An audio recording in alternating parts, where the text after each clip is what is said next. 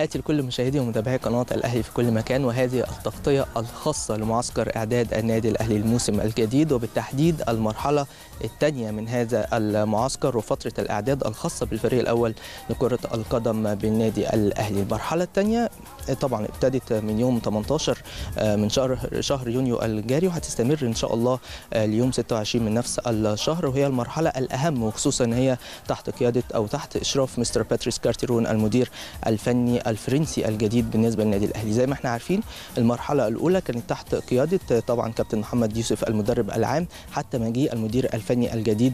وخصوصا إن المرحلة دي هتكون قبل المرحلة الأخيرة واللي هيتخللها معسكر إعداد خارجي في إحدى الدول الأوروبية مع بداية الشهر المقبل. أكيد استعداد مهم جدا بالنسبة لفريق النادي الأهلي بالنسبة للاعبين بالنسبة للجهاز الفني خصوصا إن النادي الأهلي هيدخل على الكثير من التحديات سواء المحلية والأفريقية وأهمها طبعا بطولة دوري أبطال أفريقيا واللي هيبتدي من خلالها الجهاز الفني واللاعبين هذا الموسم الكبير إن شاء الله بالنسبة للنادي الأهلي بمباراة بوتسوانا وبتحديد فريق تاونشيب البوتسواني في الجولة الثالثة من بطولة دوري أبطال أفريقيا وبتحديد دوري المجموعات. بالتالي استعدادات مهمة جدا قوية جدا بالنسبة للاعبين.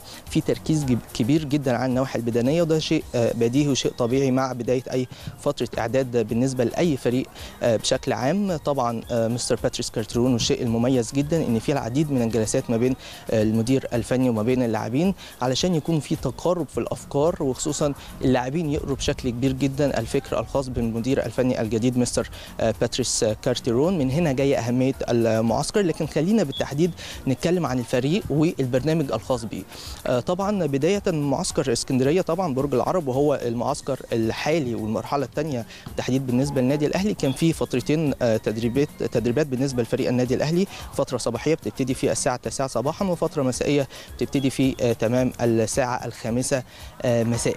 خليني أقول لكم إن النهارده بالتحديد تم إلغاء الفترة الأولى واللي كانت بتبقى في 9 صباحا واكتفى الفني والجهاز الفني والفني واللاعبين بفترة واحدة وهي في تمام الساعة الخامسة مساء. بيتم تقسيم اللاعبين لمجموعتين وخصوصا إن في عدد كبير جدا من لاعبي النادي الأهلي ومن ناشئ النادي الأهلي متواجدين في هذه الفترة. وحوالي 39 لاعب بالظبط موجودين في معسكر النادي الأهلي هنا في الإسكندرية وبالتحديد مدينة برج العرب. وهي فرصة بكل تأكيد لجميع اللاعبين إن هم يثبتوا أحقيتهم وجدارتهم بارتداء ارتداء طبعا تيشيرت النادي الأهلي خلال الفترة المقبلة وخصوصا ناشئي النادي الأهلي اللي بيحاولوا من خلال هذا المعسكر معسكر طبعا إثبات قدراتهم بالنسبة لمستر باتريس كارتيرون. هيستمر المعسكر زي ما قلت لكم اليوم 26 إن شاء الله من الشهر الجاري وان شاء الله هيستمر فترة الإعداد من خلال المعسكر الخارجي واللي هيستعد من خلالها الفريق للموسم الجديد. لكن عايزين نطمن على الفريق بالتحديد وعلى بعض العناصر اللي يمكن كان عندهم بعض الإصابات خلال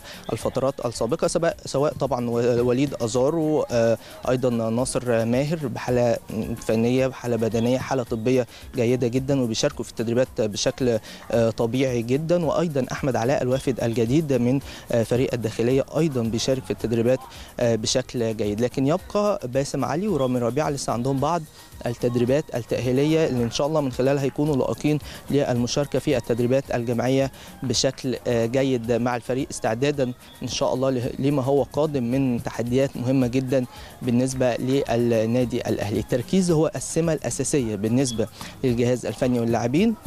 علشان إن شاء الله الفريق يقدر إن هو يدخل التحديات الجديدة والمباريات الجديدة الرسمية بالنسبة للفريق بشكل أكثر من رائع وخصوصا بطولة دوري أبطال أفريقيا واللي يمكن الفريق ابتدى فيها بشكل غير موفق من خلال تعادل مباراة وخسارة أخرى. فبالتالي المباراتين المقبلتين بالتحديد في بطولة دوري أبطال أفريقيا أمام فريق تاونشيب البتسواني في غاية في الأهمية بالنسبة لفريق النادي الأهلي هو التركيز الحالي بالنسبة للاعبين. أكيد نتمنى كل التوفيق بالنسبة للجهاز الفني الجديد بقيادة مستر باتريس كارتيرون. أيضا نتمنى كل التوفيق بالنسبة للاعبين اللي هيتم بكل تأكيد تصفيتهم خلال المرحلة المقبلة. طبعا مستر باتريس كارتيرون مش هيمرن على مدار الموسم كله 39 لاعب. لا طبعا هيتم الاستقرار على عدد 25 لاعب وهي القائمه المحددة بالنسبة للنادي الأهلي هذا الموسم علشان إن شاء الله يكونوا هم اللاعبين المتواجدين مع فريق النادي الأهلي خلال الفترات المقبلة وفي مختلف البطولات المقبلة.